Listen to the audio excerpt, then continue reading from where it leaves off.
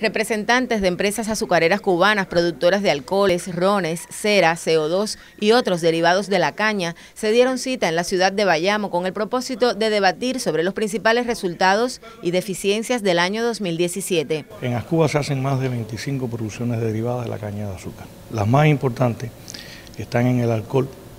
El alcohol se utiliza para, se destina a, a la exportación cuando tenemos producciones que nos permiten exportar alcohol y el resto se utiliza en la economía interna. Estimular la producción de derivados de la caña de azúcar, toda vez que sus renglones deciden en sectores vitales para la economía, como la salud, la agricultura y otros, es una de sus proyecciones. Nosotros nos queda una deuda muy grande, y lo tenemos que decir así, con el tablero de bagazo, nos queda una deuda grande con la torula, que es también para el alimento porcino, y con los bloques multinutricionales, que es un alimento para el ganado vacuno. En medio de la difícil situación en la que el país produce hoy azúcar, como consecuencia de la inestabilidad del clima y las persistentes lluvias, también se vio afectada la producción de derivados. Hemos tenido poca disponibilidad de miel, que es la base de todas estas producciones, o de la mayoría de estas producciones, pero tenemos que eh, eh, acabar de salir de este mal, mal momento y eh, ponernos al 100, que es el el, objetivo que tenemos todos. En el encuentro se visitó la destilería Arquímedes Colina de Bayamo,